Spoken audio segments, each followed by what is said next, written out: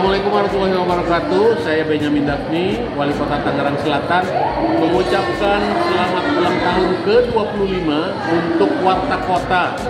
Semoga di ulang tahunnya yang ke-25 ini Warta Kota semakin dapat mendapatkan kepercayaan dari masyarakat karena menyajikan informasi-informasi yang mencerdaskan, informasi yang akurat, dan dibutuhkan oleh masyarakat. Selamat sekali lagi kepada Warta Kota, 25 tahun luar biasa.